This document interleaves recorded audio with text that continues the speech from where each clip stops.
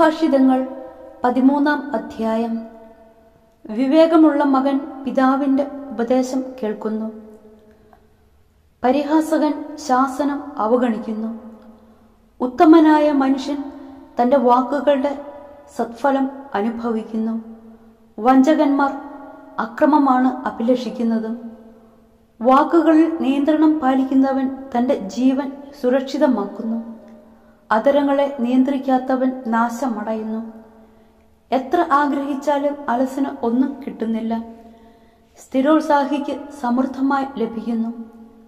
നീതിമാൻ കാപട്യത്തെ വെറുക്കുന്നു.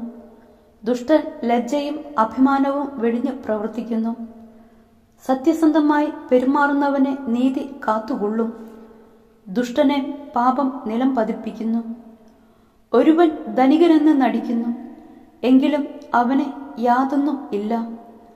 അപരൻ ദരിദ്രനെന്ന് നടിക്കുന്നു. എങ്കിലും അവന് ധാരാളം സമ്പത്തുണ്ട്. ജീവൻ വീണ്ടെടുക്കാനുള്ള മോചനദ്രവ്യമാണ് മനുഷ്യന് സമ്പത്ത്. എന്നാൽ ദരിദ്രന് മോചനത്തിന് മാർഗമില്ല. നീതിമാന്റെ ദീപം തെളിഞ്ഞു പ്രകാശിക്കും.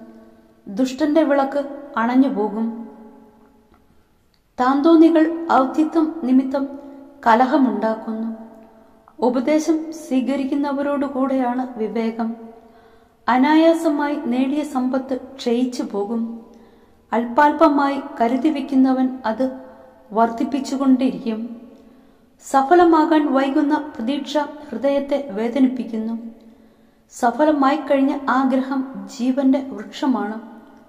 ഉപദേശം നിന്ദിക്കുന്നവൻ തനിക്ക് തന്നെ നാശം വരുത്തി വയ്ക്കുന്നു. കൽപ്പന ആദരിക്കുന്നവനും പ്രതിഫലം ലഭിക്കും. ജ്ഞാനിയുടെ ഉപദേശം ജീവന്റെ ഉറവയാണ്. മരണത്തിന്റെ കെണികളിൽ നിന്ന് ഒഴിഞ്ഞു മാറാൻ അത് സഹായിക്കുന്നു. സദ്ബുദ്ധി പ്രീതി ജനിപ്പിക്കുന്നു.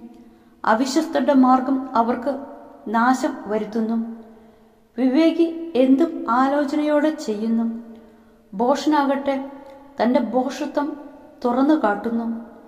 ഔചിത്യമില്ലാത്ത ദൂതൻ ആളുകളെ കുഴപ്പത്തിലാഴ്ത്തുന്നു. വിശ്വസ്തനായ സന്ദേശവാഹകൻ രഞ്ജനം കൈവരുത്തുന്നു. ഉപദേശം അവഗണിക്കുന്നവന് ദാരിദ്ര്യവും അപമാനവും നേരിടുന്നു.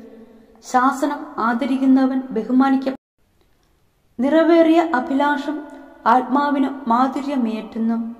തിന്മ വിട്ടൊഴിയുന്നത് ഭോഷർക്ക് അഹിതമാണ്. വിവേകികളോട് സംസർഗം ചെയ്യുന്നവൻ വിവേകിയായിത്തീരുന്നു. ഭോഷരുമായി കൂട്ടുകൂടുന്നവന് ഉപദ്രവം നേരിടുന്നു. പാപികളെ ദൗർഭാഗ്യം പിന്തുടരുന്നു. നീതിമാന്മാർക്ക് ഐശ്വര്യം പ്രതിഫലമായി ലഭിക്കുന്നു. ഉത്തമനായ മനുഷ്യൻ തന്റെ അവകാശം തലമുറകളിലേക്ക് കൈമാറുന്നു. പാപിയുടെ സമ്പത്ത് നീതിമാൻകാർക്കായി സംഭരിക്കപ്പെട്ടതാണ്. ദരിദ്രരുടെ കയ്യിൽ തരിശു നിലം ധാരാളം ആഹാരം ഉൽപ്പാദിപ്പിക്കുമായിരുന്നു. എന്നാൽ നീതി കെട്ടവൻ അത് കൈക്കലാക്കി തരിച്ചിടുന്നു മകനെ ശിക്ഷ കൂടാതെ വളർത്തുന്നവൻ അവനെ വെറുക്കുന്നു. സ്നേഹമുള്ള പിതാവ് അവന് ശിക്ഷണം നൽകാൻ ജാഗരൂകത കാട്ടുന്നു. നീതിമാന് വിശപ്പടക്കാൻ വേണ്ടത്ര വകയുണ്ട്. ദുഷ്ടന് പട്ടിണി കിടക്കേണ്ടി വരും.